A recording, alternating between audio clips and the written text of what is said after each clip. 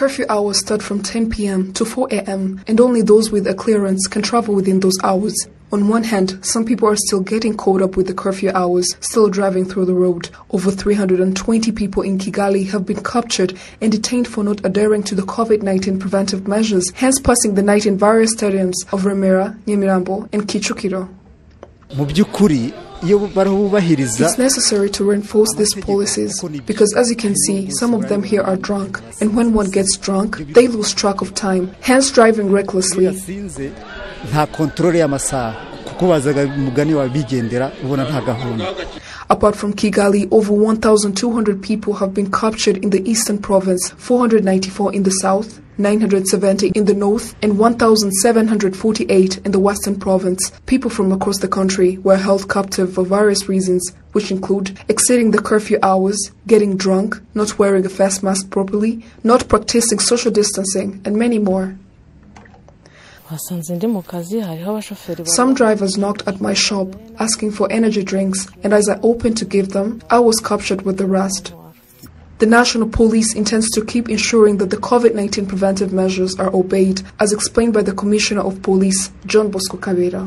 ingamba rero nta zindi ni ugukomeza kuko covid irahari The plan is to keep making sure that all citizens adhere to the COVID 19 preventive measures because we are here as the police to ensure that by capturing those that disobey the rules and teach them on how to prevent themselves from getting infected and also punish those that keep disobeying until all people learn or when coronavirus is over because we are not backing down from this responsibility.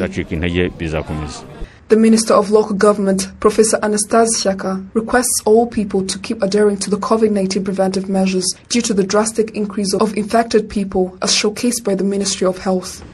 abaturage abayobozi ibyiciro bitandukanye abanyarwanda muri rusange All citizens, including officials, should take it as a responsibility to prevent the spread of COVID 19 virus because no matter what the health sector may do to treat us, it is our primary responsibility to protect our lives. Secondly, we are in a critical season whereby the virus is growing each day, which is why we should prevent it as early as possible and make sure that our lives are secured even during the holiday season. What we ask of all Rwandans is to put much effort in adhering to the COVID 19 preventive measures.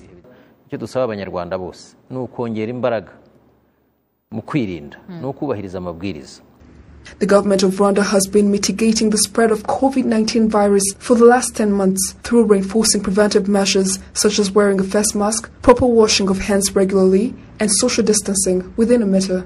Jane Mutoni reporting for RTV.